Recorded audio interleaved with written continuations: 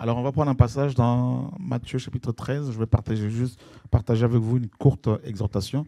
Matthieu chapitre 13, on va lire la parabole euh, du grain du grain de Sénévé, verset 31. Il leur proposa une autre parabole et il dit Le royaume des cieux est semblable au grain de sénévé qu'un être humain a pris et semé dans son champ. C'est la plus petite de toutes les semences, mais quand il a poussé, il est plus grand que tout, hein, que les autres plantes, hein, euh, et devient un arbre, de sorte que les oiseaux du ciel viennent habiter et font leur nid dans ses branches. Vous savez, nous sommes en train actuellement de parler des mystères du royaume des cieux, les secrets du royaume.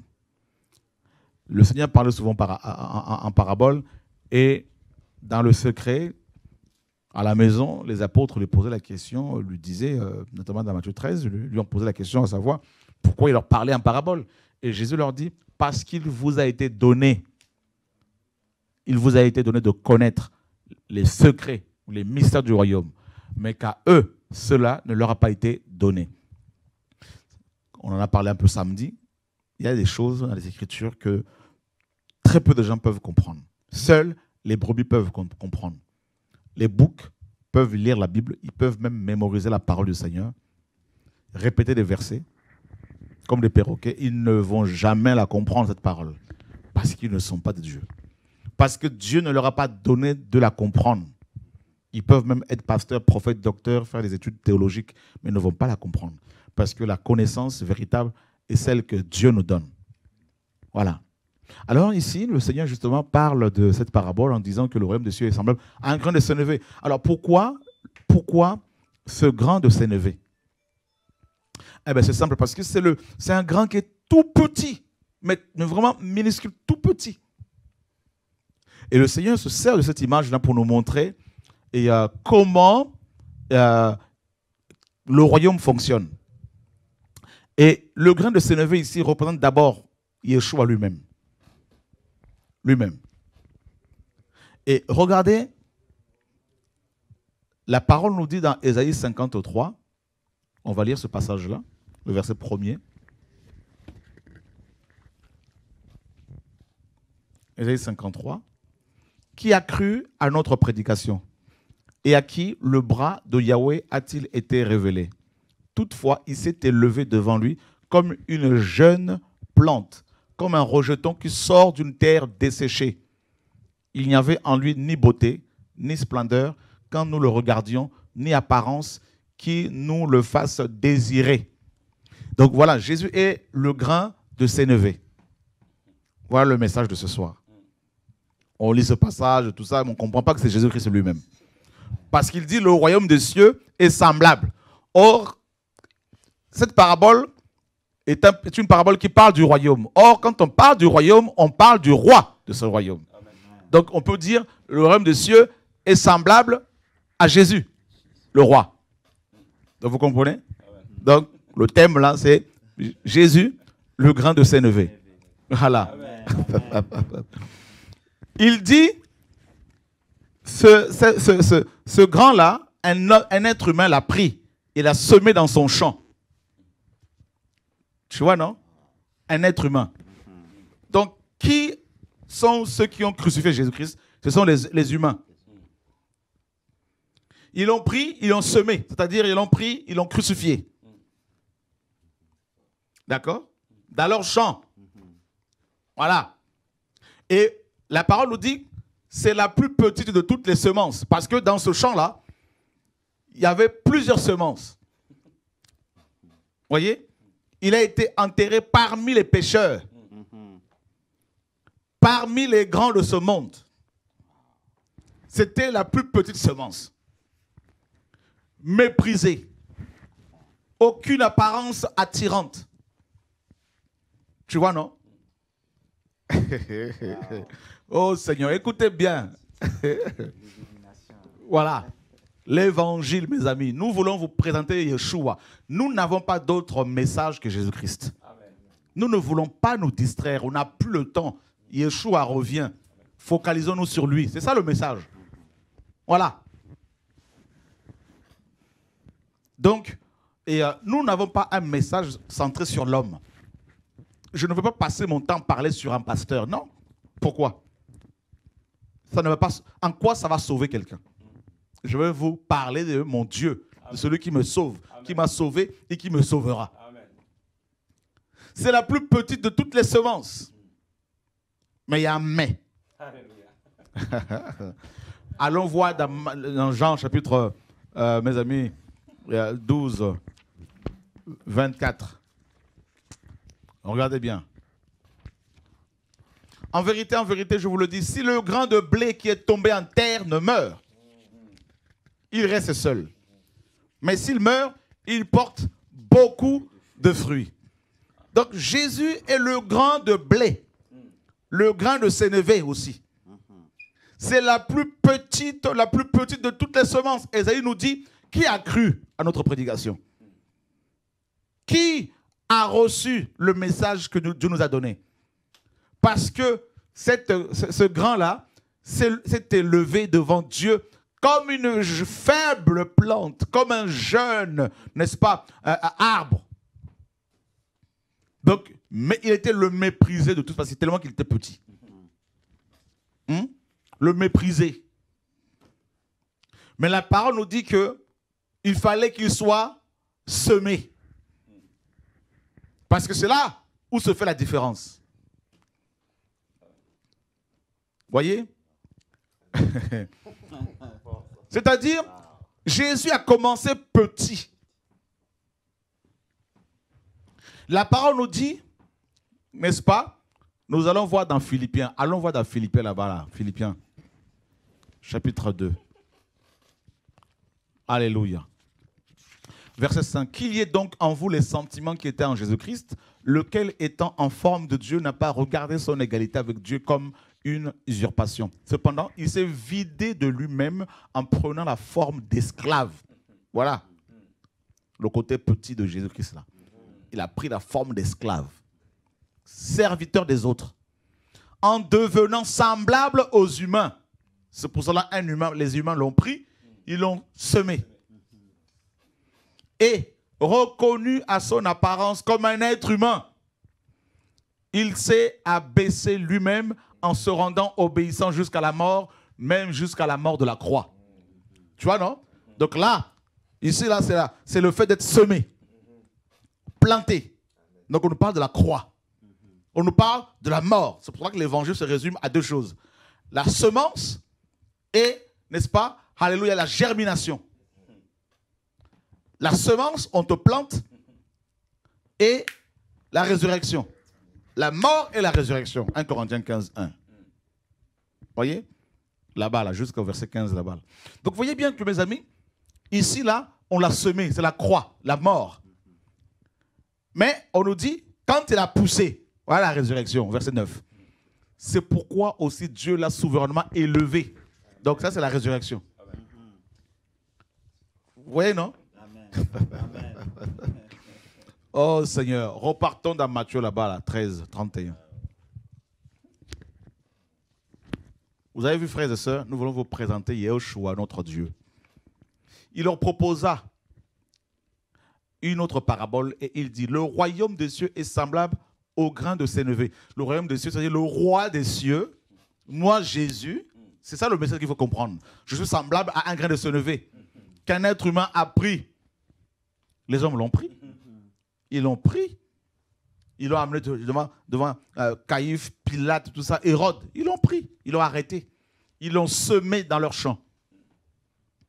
C'est la plus petite de toutes les semences. On l'a minimisé parce qu'il était petit. Il s'est rendu petit. Il s'est fait petit pour le sauver. Mais quand il a poussé, je vais vous dire une chose. On a mis des gardes devant sa tombe pour ne pas qu'il pousse. Il y a des gens qui vont vous faire la guerre parce qu'ils ne veulent pas vous voir pousser. Mais le problème, c'est que la poussée ne dépend ni de l'homme, ni d'un quelconque Dieu, mais du Dieu des dieux. Regardez, allons voir dans Marc chapitre 4. Marc chapitre 4. On va descendre là-bas, là, jusqu'au verset 26 par là-bas. Là. On va descendre. Oh, alléluia. Regarde, il disait aussi, il en est du royaume de Dieu comme quand un être humain jette la semence en terre.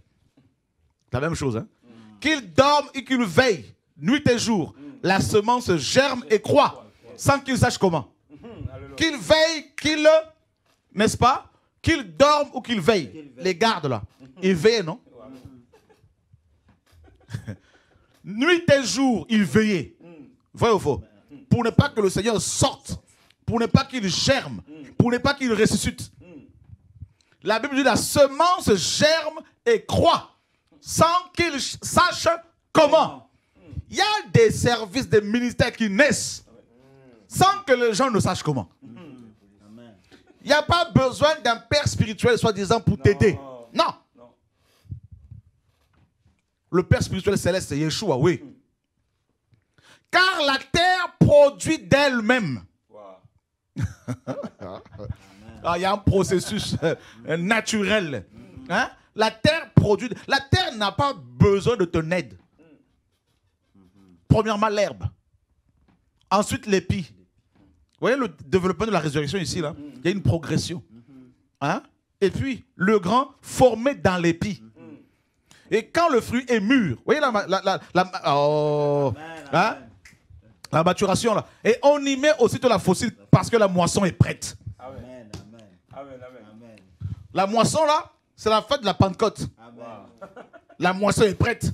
Depuis acte 2, la moisson est prête.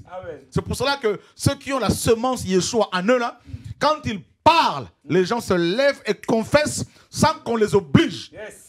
Ils t'interrompent et ils disent Nous voulons confesser. Ils se lèvent, ils prennent leur baptême.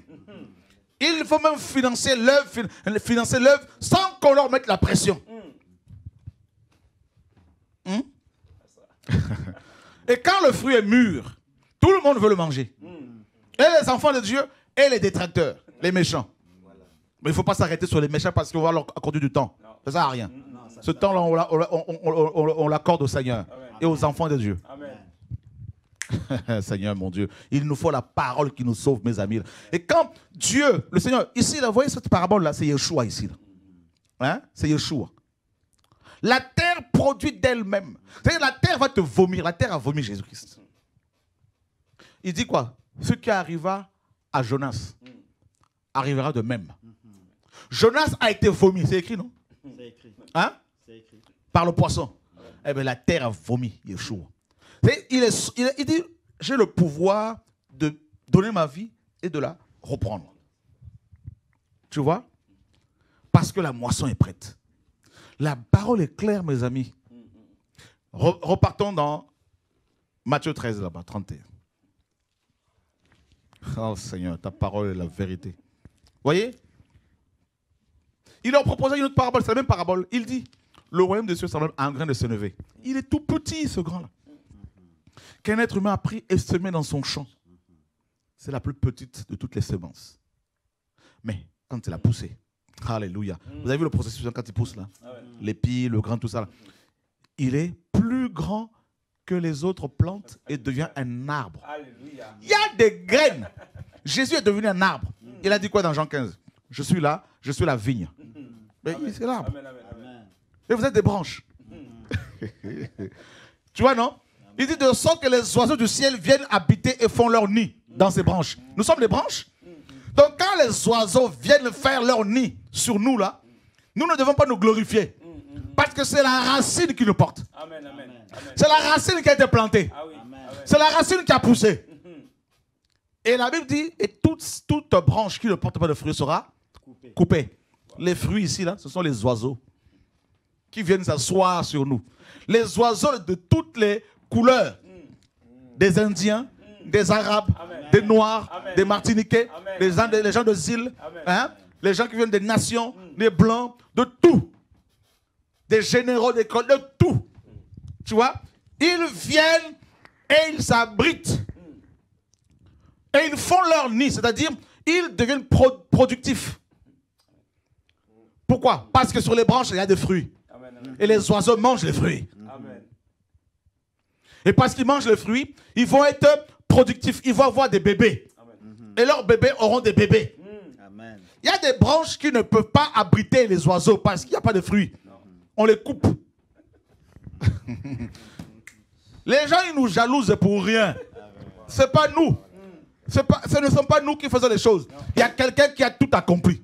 Quelqu'un qui a payé le prix. Quelqu'un qui a été planté, qui a été semé, qui a germé, qui est ressuscité et qui produit les œuvres. Alléluia. C'est ça l'évangile, mes amis. Vous voyez? Et ça, c'est magnifique de voir comment Yeshua présente le royaume. On va beaucoup parler ce dernier temps des mystères du royaume. Et vous allez voir que tous ces mystères-là nous amènent à Yeshua. Amen. voyez, mes amis? C'est la plus petite de toutes les semences. Il ne faut pas minimiser les jours des faibles commencements. Dieu prend les gens qui sont petits. Il a pris les apôtres, ils étaient petits. Ils sont devenus grands. Il y en a, ils veulent devenir grands. Ils n'ont jamais été petits. Hein? Ils veulent courir avec les grands, alors qu'ils sont petits. Comme un bébé qui porte des couches et qui veut courir avec les grands. Il va s'essouffler. Il faut de l'endurance. Hein? Au bout de quelques mois, ils sont déjà essoufflés et finis. Donc, euh, mes amis, que Dieu soit béni. Dieu est fidèle. Que personne ne te minimise, mon frère, ma soeur. Que personne ne minimise le projet que tu as.